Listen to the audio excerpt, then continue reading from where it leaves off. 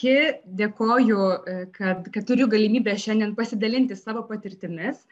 Aš dirbu Kauno technologijos universitete, e, studentų reikalų departamente, kuriame kartu su komanda mes e, greta savo tokių įprastinių veiklų, kaip informuoti studentus, suteikti studijų pagalbą, suteikti įvairias papildomas galimybės studentams, mes vykdome papildomo ugdymo programas papildomo ugdymo programos yra skirtos tam, kad studentai universitete turėtų galimybę kartu su dalykinėmis ir profesinėmis kompetencijomis, kurias jie įgyja mm, studijų metu ar ne savo studijų specialybės studijose, e, jie kartu galėtų įgyti ir lavinti asmeninius gebėjimus ir įgūdžius. Pasidalinsiu savo patirtimis, kaip, kaip mums sekasi tai daryti, kuo, kuo mes remiamės darydami ir, ir taip pat mm, parodysiu keletą pavyzdžių. Tai šiandien vienos paklausiausių profesijų prieš dešimtmetį neegzistavo arba nebuvo vertintos kaip perspektyvios. Ir stebint sparčiai kintantį gyvenimą, mes suprantam, kad ateities profesijų tiesiog dar nežinome.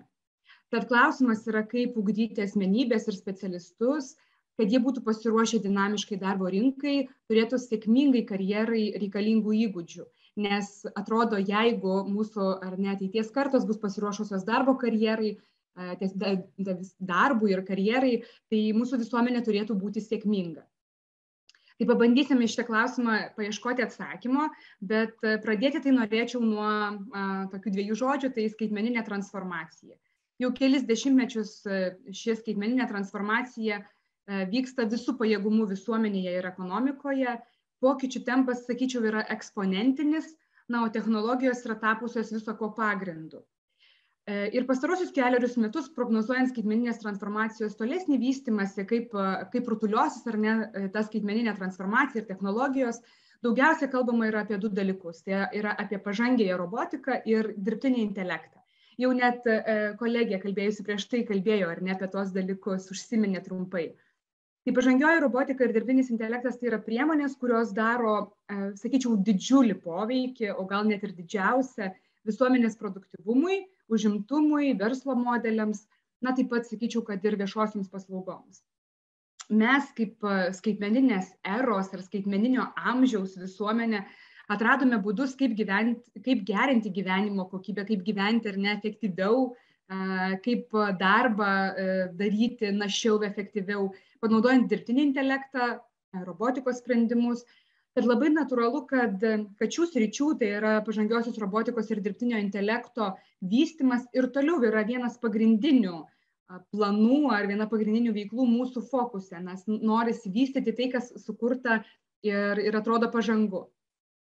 Valstybė, suprasdamos technologijų integracijos į ekonomiką visuomenės gyvenimą svarbą, taip pat daro tam tikrus žingsnius, ar ne, skaitminė transformacija viena vertus yra toks natūralus reiškinys visuomenėje, bet kita vertus tam yra telkiamos didžiulės pajėgos.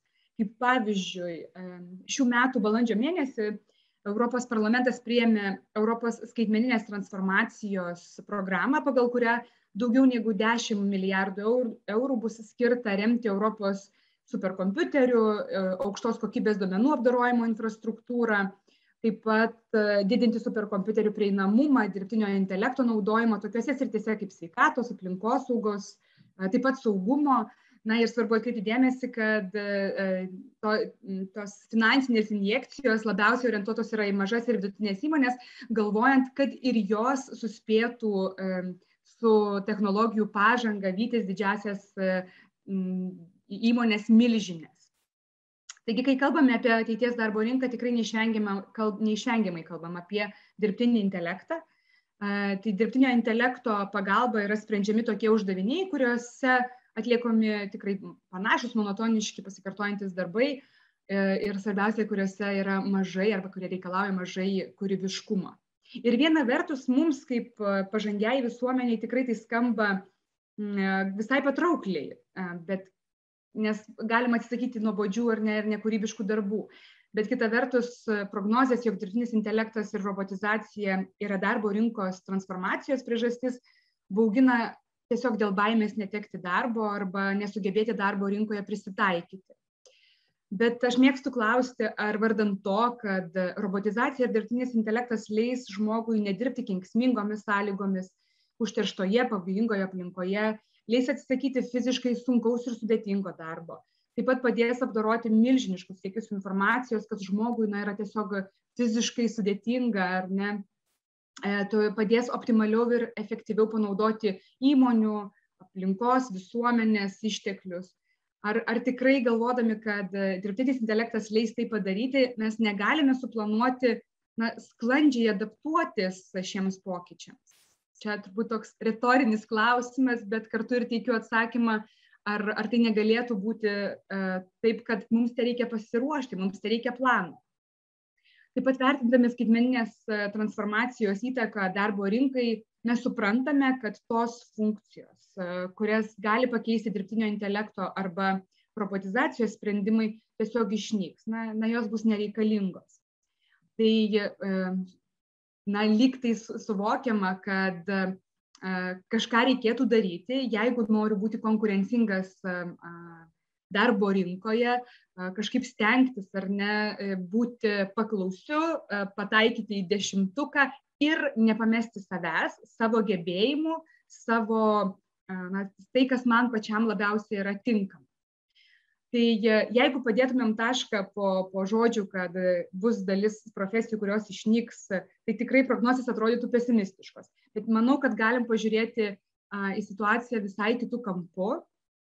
Tai pagrindinis pramonės ir verslo skaitmenizacijos robotizavimo tikslas yra tiesiog našumo didinimas, a, tačiau našumas neauga tik atsisakant žmonių, žmonių išteklių. Tiksliau, našumas auga ne atsisakant žmonių išteklių, bet žmonės, žmonėms bendradarbiaujant su pačių žmonių kūriamomis technologijomis. Tikiu, kad vis dažniau girdite ir jūs apie, apie tokį terminą ar reiškinį kaip hybridinį dirbtinį intelektą, kai programa ir žmogus dirba kartu ir galima tokiu būdu pasiekti na, pačius geriausius rezultatus, apie kokius mes dabar galime svajoti ar prognozuoti. Tai suprantame, kad ne technologijos turi pakeisti, bet, bet turime na, ieškoti galimybių, kaip mes galime toje darbo rinkoje sutilpti ir, ir, ir tilpti visi. Tad vertinant sparčią dirbtinio intelekto ir robotizacijos pažangą, turbūt vienas iš esminių klausimų yra, kokiomis kompetencijomis turi pasižymėti žmogus, kad ar žmonės ir kokius įgūdžius turi turėti, kad būtų sėkmingi darbo rinkoje, kurios dalimi yra robotai, jau yra robotai ir jau yra dirbtinis intelektas. Šių metų vasarą Liepos mėnesį Junktinių Amerikos valstijų konsultacinė įmonė McKinsey Company paskelbė tyrimą, kuriame įvardino, kokie yra šiuo metu patys reikalingiausi, svarbiausi žmonių įgūdžiai, jeigu jie nori būti E, konkurencingi.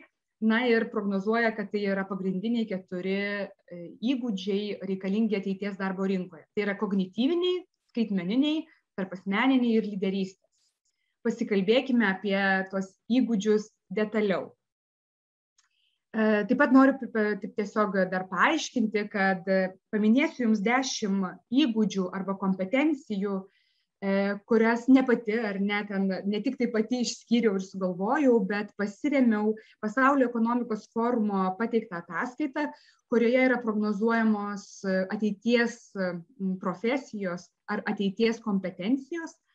Tai e, manau, kad visai verta yra Pasaulio ekonomikos forumo ataskaitomis pasidomėti, nes informacija iš jų, jų pateikiama yra išties ties dažnu atveju labai teisinga, korektiška ir, ir tiksliai prognozuojama.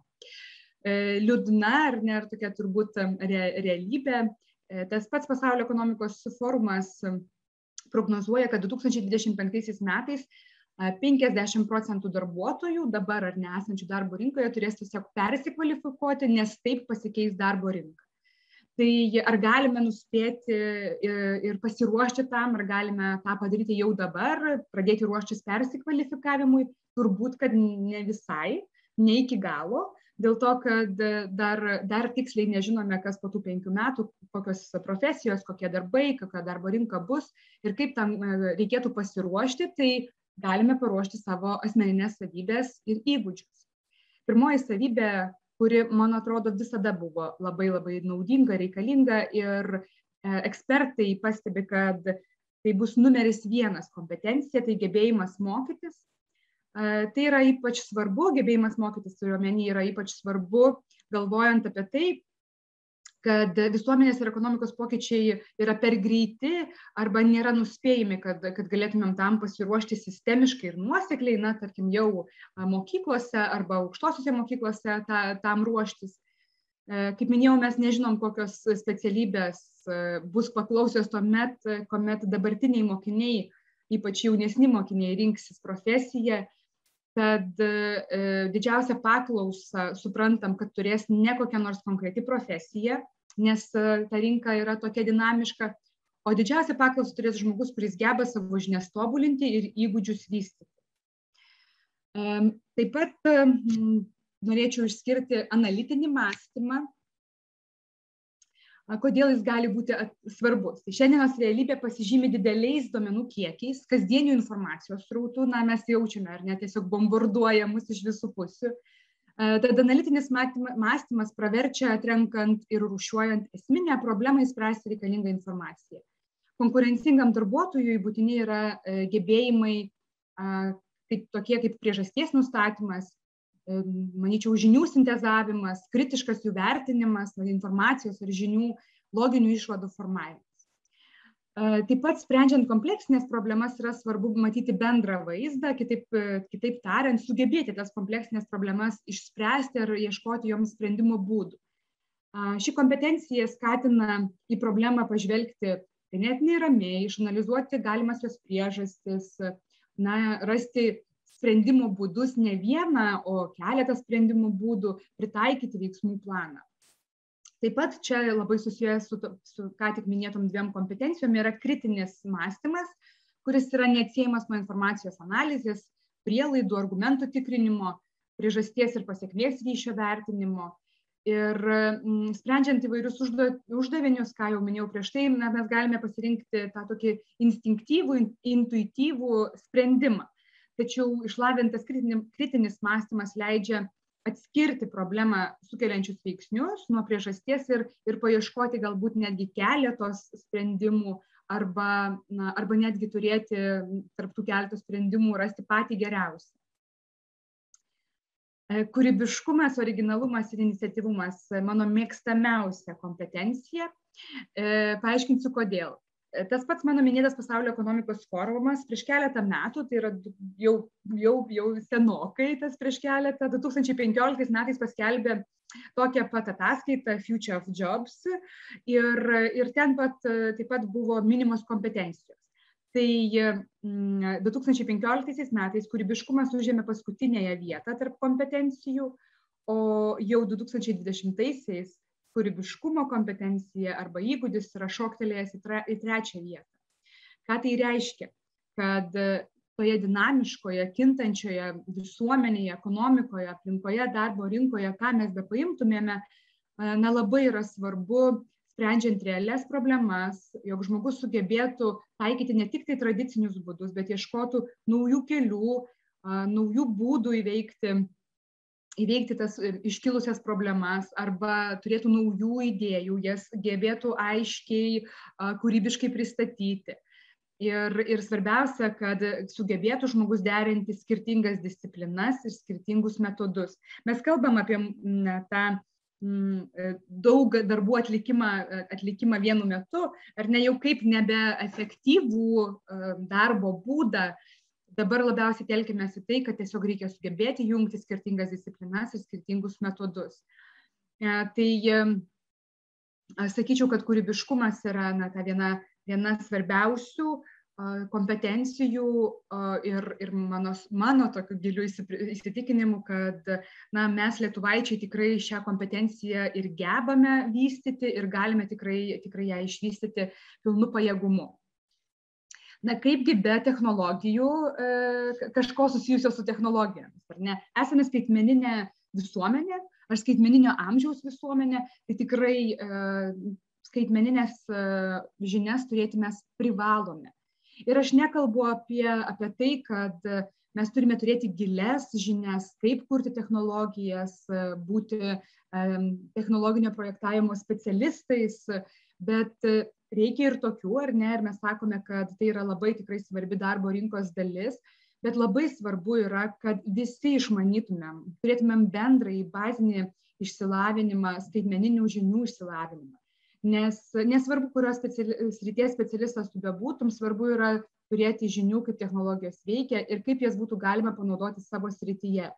Tai netapsime, na, mums reikės ir medikų, ir, ir, ir, ir teisininkų, ir, ir vadybos žmonių, netapsime visi IT specialistais. Bet ir visose mano minėtose srityse ir dar daugybėje nepaminėtų, mums reikia išmanyti, kaip veikia technologijos, kad mes galėtumėm jas tiesiog taikyti tai man atrodo tai kas akivaizdu apie technologijų žinojimą labai noriu neišsiplėsti nes noriu paliesti trumpai kitą temą ji nėra mūsų šiandienos ar ne pranešimo turbūt temoje bet labai labai noriu apie tai užsiminti skaičiai yra tokie. Šiuo metu yra skaičiuojama, kad pasaulyje tik iki 25 procentų darbo pozicijų susijusių su dirbtiniu intelektu, na, tai reiškia su skaitmeninė transformacija, skaitmeniniam technologijom, užima moteris tik iki 25 e, procentų.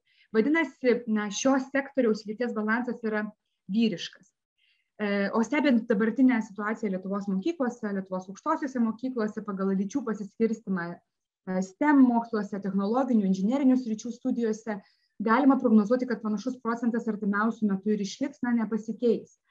Aš neišsiplėsiu ir net neužsiminsiu, ar ne kokios galėtų būti to priežastis, bet tik labai noriu akcentuoti e, vieną, vieną dedamąją, kad merginų moterų galimybės ugdyti technologinio, te, technologinės kompetencijas, technologinių naudojimo, technologijų naudojimo, kūrimo kompetencijas yra lygiai tokios pat kaip ir vaikinų. E, tai, kas merginas stabdo ar ne nesirinkti šių kompetencijų e, ugdyti, dažniausiai yra ne jų pačių gebėjimai ir galimybės, o stereotipai visuomenėje ir aplinkoje. Tai e, tiesiog norėčiau, kad galėtumėm įkvėpti merginas e, daugiau domėtis šiomis šio, technologijomis, šias rytimi, nes ekspertai prognozuoja, kad darbo rinkos pokyčius tuos, kuriuos nulėmė skaitmenizacija, o tiksliau robotizacija ir dirbtinis intelektas, jų plėtra labiau pajaus moteris nei vyrai. Ir taip yra todėl, kad tose darbo vietose, kurios bus pačios pirmiausios, kuriuose bus taikomos dirbtinis intelektas, robotizacija, šiuo metu daugiau dirba moterų. Vadinasi, labai svarbu, kad skaitmeninėme amžiuje mes visi ir pagal lytį ir amžių galėtumėm um, kaupti ir turėti žinias skaitmeninės žinias. Lyderystė ir, ir, ir socialinė, atsako, socialinė įtaka. Trumpai labai užsiminsiu apie tai, kad čia labiausiai, ne, kas slepiasi po šią kompetenciją, tai yra gebėjimas dirbti komandoje. Jis jau seniai apie jo svarbą mes kalbame, tai tik tai dabar taip ar trumpai akcentuojant, gebėjimas dirbti komandoje, jisai, šis, ši kompetencija niekur nėra prapuolusi, ji yra dar labiau suaktyvėjusi. Ir dabar yra svarbu dirbti, mokėti dirbti ne šiaip komandoje, o globalioje komandoje, nutolusioje komandoje, e, tarp kultūrinėje komandoje. Na, pandemija na, mums dar kartelį parodė, kad, kad e, jeigu jau išmokome dirbti komandoje, tai gal neišmokome dirbti nuotolinėje komandoje. Tai šią kompetenciją būtina vystyti. Taip pat darbdaviai ieško, jau dabar ieško greitai persiorientuojančių darbuotojų, kurie sugeba valdyti stresą, būti lankstus skirtingose situacijose. COVID pandemija labai puikiai parodė, kad, kad jau dabar šitas, šita, šita kompetencija ir šitas įgūdis yra labai reikalingas. Taip pat darbdaviai ieško darbuotojų gebančių aktyviai samprotauti, nebijančių priimti sprendimus ir generuoti naujas idėjas tai problemų vertinimas, jų analizavimas, sprendimo prieimimas suteikia darbuotojui, kuris nori įsitvirtinti darbo rinkoje dabar ir norės ateityje, tai tokios pridėtinės vertės. Išvardinau dešimt kompetencijų, tai, nesakyčiau, labiau yra asmeninės savybės, o ne profesiniai gebėjimai. E, akcentuoju, aš tikrai nenoriu pasakyti, kad profesiniai gebėjimai nėra ar nebebus svarbus. Aš tiesiog kalbu apie asmeninės savybės, kaip apie įgūdžius, kuriuos labai sunku yra paveikti. Nes jeigu profesinės žinios mums yra labai tikrai svarbios, bet suprantame, kad jos yra kintančios. Tai asmeninės savybės yra tos, kurios yra mažiau jautrios besikeičiančiai darbo rinkai ir aplinkai. Kodėl sakau, kad profesinės savybės yra tos, kurios labai kinta? Jau dabar paskaičiuota yra, kad žmogaus vidutiniai gyvenimo trukmiai kas dešimtmetį augant po tris metus yra prognozuojama, kad ateinanti darbo karta darbą keis per gyvenimą savo ar ne, nu, taip vidutiniškai 15 kartų. Vadinasi, žmogui savo profesinės darbinės kompetencijas reikės pakeisti 15 kartų, bet visur reikės mokėti analizuoti informaciją, tobulėti, mokytis, kritiškai mąstyti, būti iniciatyviam, būti lankščiam tiek, tiek su klientais bendraujant ar ne tiek su komanda, turėti kūrybiškumo na, ir žinoma būti technologiškai raštingu. E, tai tiesiog dėl, norėčiau dėl to paskatinti su, su tomis e, asmeninėmis savybėmis padirbėti daugiau ir labai irgi svarbu norėčiau taip sakyti, kad labai jaučiasi, jeigu žmogus e, tas asmeninės savybės neturi giliai išsiugdęs, kurias minėjau, ar ne tas kompetencijas, o tik išmokęs tam tikrus standartus, tam tikras gairias, kaip tai reikėtų daryti, na, tarkim, aš pseudo moku dirbti komandoje, tai labai greitai pasijaučia ir tai nėra tvaru. Tai ugdymas, tomis, tas savybės ugdant nuo pat jaunų dienų, galima pasiekti tvarių rezultatų. Aš matau, kad jau laikė visai esu išsekusi, tai paskutiniai keli žodžiai. Ką daro Kauno technologijos universitetas, na ir koks yra čia tas universiteto vaidmuo. Tai greta studijų mes turime Europos universitetą, kuris vienyje 12 Europos universitetų ir suteikia studentams galimybę gyvenant Kaune, dirbant ar ne Lietuvoje, Lietuvo, Kauno technologijos universiteto studijose, stropiai besimokant dirbti tarp, tarp discipliniškose komandose, nutolusiuose su Europos universitetais. Kitos mūsų papildomo augdymo programos, apie kurias aš minėjau pačioje pradžioje, tai mūsų vadinamosios ED programos, tai mes jau turime devynės, jos nuolat tobulinamos arba papildomos ir labai svarbu yra studentas gali pasirinkti, ar jis nori dirbti studentų, dirbti, veikti studentų savivaldoje, ar jis nori būti meno kolektyve, kurių siūlo šešis universitetas, gal jis nori sportuoti vienoje iš aštuonių sporto rinktinių, na jis gali pasirinkti tą kompetencijų rinkinį, kuris jam yra svarbiausias, bet visose tose papildomose studijų veiklose, be to, kad jis puikiai leidžia laisvalaikį, jis ugdo mano prieš tai minėtas vieną iš de, dešimties arba visas dešimt kompetencijų. Viena svarbiausių mūsų programų universitete, kurią mes ir plečiame, tai yra Gifted talentų ūkdymo akademija, kada dvidešimt bendraminčių viename kurse arba aštuoniasdešimt per visus kursus susirenka, na tai yra labai stipri atranka, susirenka motiv, labai motivuoti, aukštų kompetencijų studentai ir kartu na, vykdo bendras veiklas, vieni iš kitų mokosi. Tai ši programa yra organizuojama ir bakalaurė, ir, ir magistrė mūsų viena iš naujovių jau du metus vykstanti yra Skilled FinTech studijų programa, kada studentai studijuojantis programavimo įvairias specialybės, ekonomikos, finansų arba matematikos specialybės gali stoti į šią papildomą augdymo programą, įgyja kartu ir savo e, studijų na, profesiją, kurią pasirinko, bet Skilled FinTech programoje jie dirba kartu e, įvairiose projektuose su verslu ir svarbiausia mokosi dirbti vieni su kitais, nes dirbti savo srities komandoje tai studentai geba labai puikiai, bet tarp disciplininėse komandose, na, šį įgūdį reikia ugdyti.